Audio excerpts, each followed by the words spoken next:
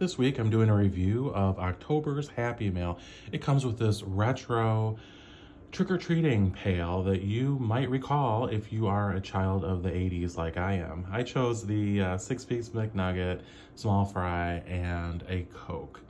Now, a little update of last week's review, which was of the adult Happy Meal, the Cactus Plant Flea Market.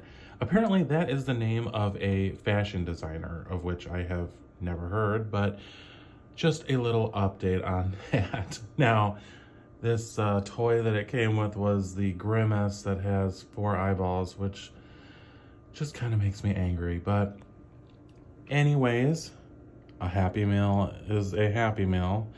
Uh, not much has changed. They're both sort of lackluster and I'm trying them so you don't have to.